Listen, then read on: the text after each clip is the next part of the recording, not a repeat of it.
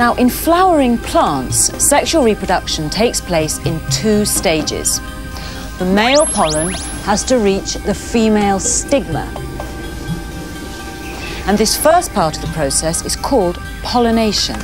Now, plants can pollinate themselves, and this is called self pollination, but most of the time they don't. Mostly, the pollen travels from one plant to another and pollinates that, and this is called cross pollination. But how does the pollen get from one flower to another? If the wind blows and the pollen is light enough,